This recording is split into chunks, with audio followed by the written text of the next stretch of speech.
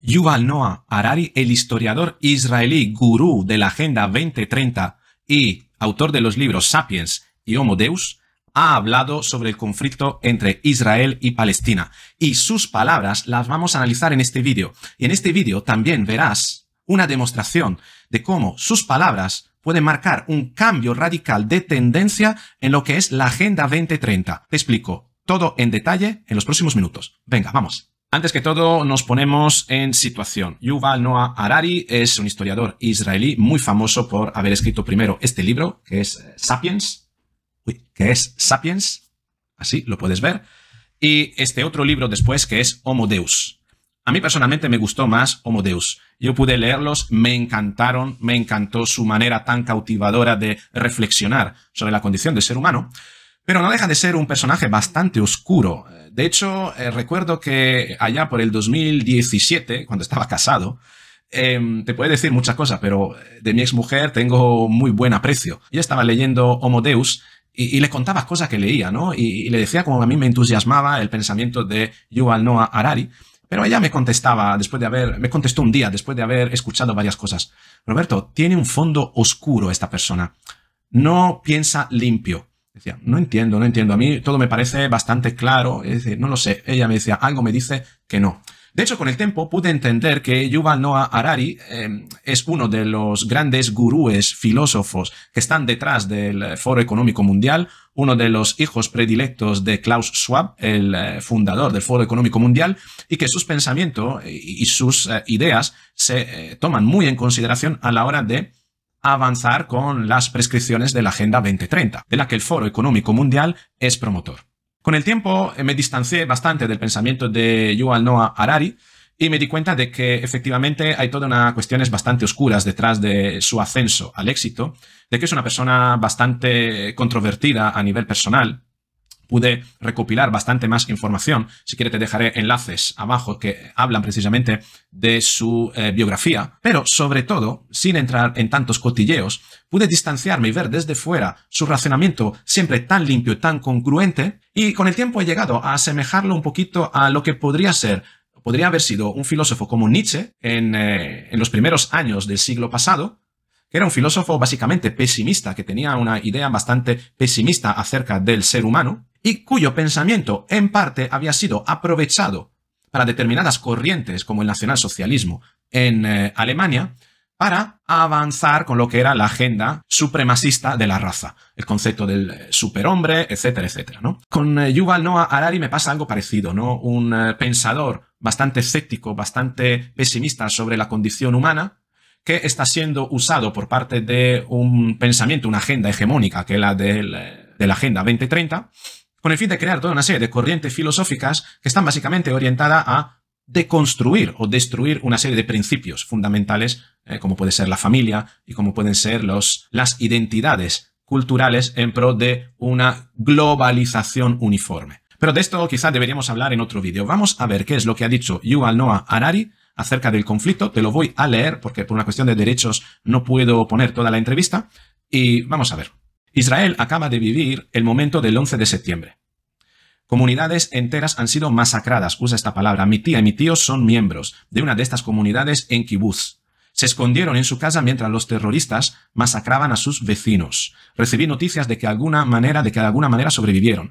Muchos de mis amigos acaban de recibir la peor noticia de sus vidas. Sabemos tres cosas sobre este horrendo ataque. En primer lugar, jamás pretendía matar civiles. En segundo lugar, las víctimas fueron torturadas y ejecutadas, de la forma más espantosa que los terroristas pudieron imaginar. En tercer lugar, en lugar de ocultar las atrocidades, jamás se aseguró de que se hicieran públicas. ¿Por qué hicieron tal cosa? Porque jamás está librando una guerra contra nuestras almas. Al igual que ISIS, jamás utiliza atrocidad indescriptible para aterrorizar y sembrar semillas de odio y violencia. Con ello jamás está cometiendo un crimen contra la humanidad. No se trata solo de matar humanos, jamás está tratando de destruir nuestra confianza en la humanidad y con ello destruir nuestra propia humanidad. Un círculo vicioso de violencia amenaza ahora con consumir toda la región arruinando las vidas de millones de palestinos e israelíes. Pero el pueblo de Israel es más fuerte de lo que jamás cree. Con la ayuda de verdaderos amigos como el presidente Joe Biden, superaremos el terror y el odio que propaga jamás. Reconstruimos nuestro país y nuestra confianza en la humanidad. Y nos mantendremos leales a, los ideales fundacionales de Israel, democracia en casa y paz en el exterior. Estas son sus palabras que, bueno, no alientan eh, desde luego directamente a un ataque de Israel, pero sí que eh, se ponen muy contundentes respecto a lo que es Hamas y de alguna manera proponen una condición moral casi eh, para Israel con el hecho de obligándole casi a intervenir, ¿no? Pone a Israel en una condición moral de necesidad de intervenir de alguna manera, de hacer algo, ¿no? ¿Qué es ese algo? Bueno, eh, Harari no lo eh, comunica. Pero claro, antes te decía que Harari tiene un fondo oscuro, ¿no? Y él aquí dice que hay, digamos, que jamás lo que pretende es dinamitar la confianza entre las personas, ¿no? entre los seres humanos. Claramente, Harari yo no lo veo como un ser maligno, desde luego. Sí que puede tener ese fondo oscuro, pero desde luego en una escala de continuidad no podemos equipararle claramente a un terrorista, ¿no? Desde luego, ¿no? Entonces, eh, su discurso es, eh, una vez más, un discurso bastante bien atado, muy limpio, cautivador, con el que cualquiera podría estar de acuerdo.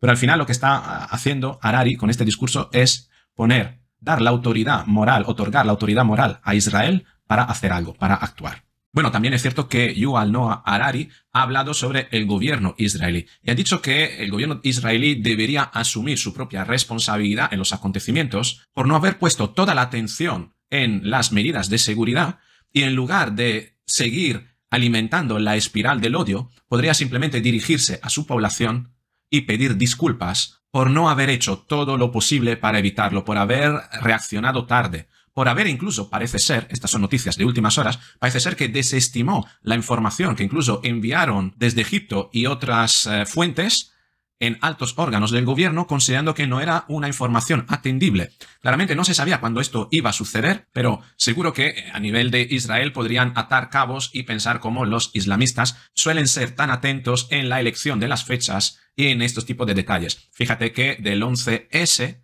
luego se pasó en Madrid al 11M.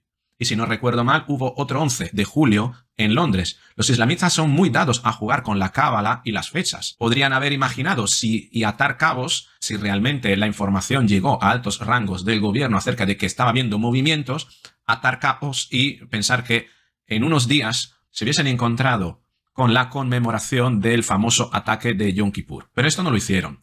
Y ahí Yuval Noah Harari comenta que la actitud del gobierno de Israel debería ser más bien una toma de conciencia y una asunción de responsabilidades. Como ves, en su estilo habitual, Yuval Noah Harari lo que hace es decir una cosa, pero también decir la otra, quedarse en un lugar cómodo donde no tomar posición, pero a la vez desplegarte una serie de argumentos para que tú tomes la tuya.